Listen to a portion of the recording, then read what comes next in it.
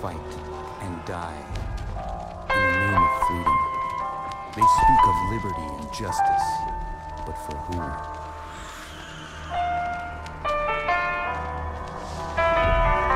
Part of me wants to fight and repel all outsiders.